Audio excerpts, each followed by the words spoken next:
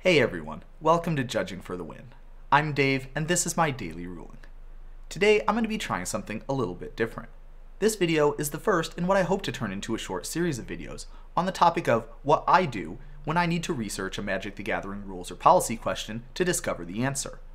Obviously, this is something that has great practical significance, but I understand that this is a little bit different from the type of content that I normally produce, so if you have strong feelings about whether you would or would not like to see another similar video in the future, definitely leave me a comment below.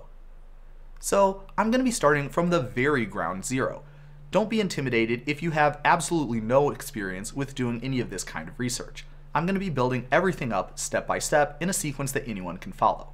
So the first thing that we're going to be talking about is what the policy and rules documents that you're going to be using to get this answer that you're looking for will be we're going to talk about all of the different magic rules and policy documents and what they're for. We'll start with probably the most famous one, the comprehensive rules. If you've ever seen me make this gesture and have a rule come up, now you know what the CR stands for. The Magic Comprehensive Rules is the full rules of Magic the Gathering. No analogies or simplifications here.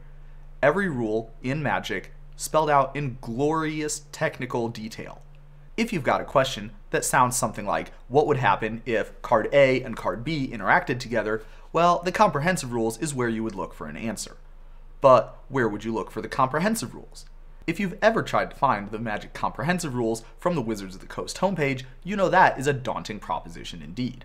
Fortunately, there is an easier way, and I'll show it to you right now. All you have to do is go to your favorite search engine and type in MTGCR and hit the enter button. This one here is the one that you're looking for. So we're just going to go ahead and click on this link. And you can tell that Wizards of the Coast really didn't want anybody to see these rules. Because you've got this text here that says, turn back now, it's your last chance. I'm paraphrasing a little bit, but that's kind of what it says to me. Now, fortunately for us, even if you're not a trained professional, you can still click on these links. So let's take a look at the PDF. And right here, we've got a couple things that I wanted to point out to everybody.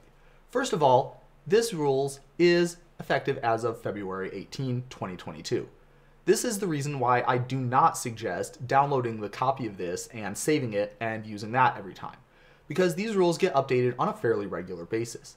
At minimum, it's every three months when a new set comes out, but sometimes they have some half updates during when they have a Commander or a Modern Horizons type of a set getting released.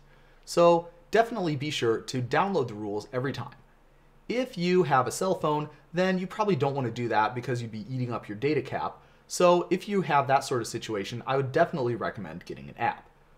I won't recommend anything specific here, but I'm sure the people in the comments will be happy to help out. If you're familiar with the topic, it should be pretty straightforward to guide someone to getting an app that has the core functionality they need without too many bugs. That being said, on the computer, I definitely say downloading it every time is the way to go. The other thing that I wanted to point out is if you take a look at the table of contents, this is your best friend. This will give you a little bit of an overview of the general layout. We'll be going into a lot more detail in future videos about exactly how to navigate your way through the comprehensive rules so it's not going to be so scary, but suffice to say, familiarizing yourself with the table of contents is a great place to start. Alright, so maybe we don't have a question that's about the Magic the Gathering rules. Maybe we've got something that's a little bit different, like the tournament rules. So to see what the difference is, let's remember that if you're playing Magic in a tournament scenario, any kind of tournament scenario, even an FNM, there's going to be some specific rules that are related to that. For example, pretty much every tournament is going to have a time limit for the amount of time that a round will take. But how long exactly would that time limit be? And what would the procedure be if you had a match that went to that time limit. Those types of questions don't have anything to do with interactions between cards. They have to do with tournament procedures. And the Magic Rules and Policy document that we're going to need for questions like that is going to be the MTR, which stands for Magic Tournament Rules. Just like before, we're going to go to a search engine and type in MTG MTR, and let's see what we get. So we've got to be a little bit careful because it's not going to be the top result this time. It's actually going to be this one here.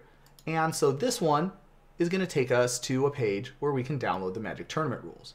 We're going to, of course, X out of this pop-up here and then go ahead and download. And here we have the Magic Tournament rules effective March 7, 2022. Always make sure you check the date before you go in to take some reads because sometimes it's been known to happen that you get an old version linked at the top even though a newer version is available. It's kind of annoying when stuff like that happens, but that's why you want to check the date every time. And so again, we have the same sort of schema that we had with the Magic the Gathering comprehensive rules. That being a table of contents that introduces all the different stuff that we're going to be able to take a look at. So you can take a look through here. This is really nice because it's actually a hyperlinked version. So you can click on something like the appendix and you can see what changed in the previous version. And of course, this is where all the specific cards that are banned in formats are, and that's what we had in the most recent update. That's why it's so soon.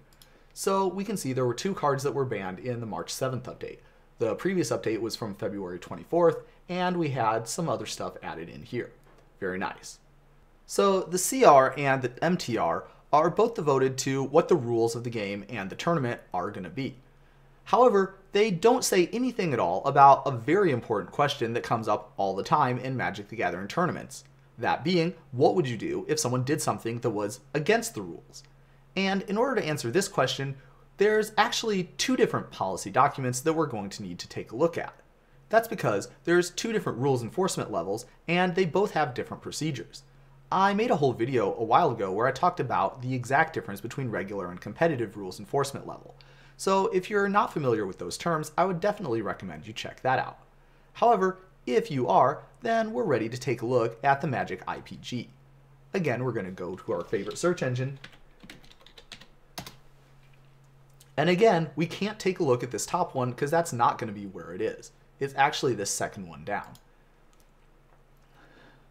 Magic IPG stands for Infraction Procedure Guide, and it tells you what you would do if someone does something that's against the rules. We've got a little bit of an introductory blurb here, and we've got the same sort of situation with the table of contents, and this one unfortunately does not look like it's hyperlinked. I'm not sure why one of them would be and the other one wouldn't. Maybe it's just because my browser is a little bit slow, but who knows what the answer really is. Fortunately, in this one, there isn't as many sections, so you can fit the whole table of contents on one page, and at a mere 31 pages, it's not nearly as bad to scroll all the way through. And now we're ready for the fourth and final type of Magic the Gathering rules and policy document that I'm going to be covering in today's episode. That being the Magic the Gathering JAR. And this document is going to be for judging at regular rules enforcement level. Unfortunately, there have been a couple of JARs throughout Magic's history, but we can still see right up on the front here is where we're going to go to download. So, judging at regular rel, we're going to take a look at this document here. And this one is the shortest one of all, only one page front and back. And it tells you everything that you would need to know about what you would have to do to correct any sorts of problems that might happen from a player breaking the rules at a regular rules enforcement level tournament. The reason why this one is so much shorter than all the others is because, well, regular rules enforcement is a lot less standardized, and therefore a lot less detail is required in order to describe what the fixes are. In fact, a lot of the time, the fix is generally described in a more philosophical way, rather than a strict procedure that you would have to follow in order to correct the situation and bring it back to what it should be. So, with the Magic IPG, you've got lots of different types of stuff. It's got to be well organized and categorized based on what type of infraction it is. In fact, what type of infraction you see someone commit at a competitive rules enforcement level tournament, well, that's going to have a big impact on what type of penalty and what type of fix they're going to have. Whereas in the judging at regular document, you don't really have that sort of formalism. It's not really needed, and so therefore it's not there. You should also know that in addition to these documents, there's also a digital IPG and a digital MTR that cover the types of situations that might come up in an online Magic the Gathering tournament. I'm not going to go into a lot of detail about those here because those documents are a little bit more specialized and a little bit less general interest, but you can find them the exact same way. So now that we've talked about all these documents, let's go through a brief summary and talk about exactly what we've learned so far. There are four different Magic the Gathering rules and policy documents that you might need to be able to access in order to answer a Magic rules or policy question. We have the Magic Comprehensive Rules, which tells you how all the cards interact with each other. If there's a question you have about how two cards are going to work if they're both in play at the same time, this is where the answer would be. Then we have the Magic Tournament Rules, which covers all the different tournament rules and procedures that are associated with playing Magic in a real life face to face type of environment. After that, we've got two documents that talk about what would happen if someone breaks the rules and what sort of penalties and fixes we would need in order to apply to get the game state back to what it's supposed to be. We have the Magic IPG, which spells out these procedures for if we're judging at a competitive rel environment, and then we have the Magic Judging at Regular document, which is for, again, judging at regular rel events. All of these Magic rules and policy documents are going to form the basis of your research, and if you're looking for an answer, it's probably going to come from one of these four documents. So that is the Magic rules and policy documents, what they're for, and where you can find them. That's all I have for you today. Join me again next time for another daily ruling, but until then, I hope you have a great day.